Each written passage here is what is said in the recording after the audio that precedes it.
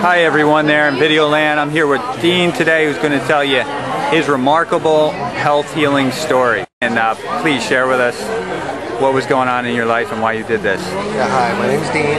Yeah, I was um, pretty overweight. I was about uh, 70 pounds overweight. I had low energy. I had uh, high blood pressure. I was pre-diabetic. Um, and I started a fast and cleansing program. And I came in to see uh, Will and the gang there at Purification Revelation and went on to their program and uh, that's where I really had the most amount of success.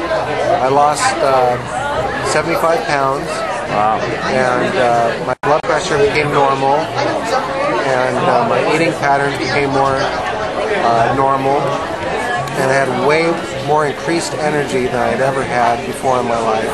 I'm about I'm 46 right now, and I have the energy of that I did when I was in my 20s. I'm Wow. able to now, uh, before I get up and do eight massages a day, I'm actually able to uh, run miles, swim for miles, and I can do that uh, after work as well. Whereas before, I could just barely get myself up to go to work.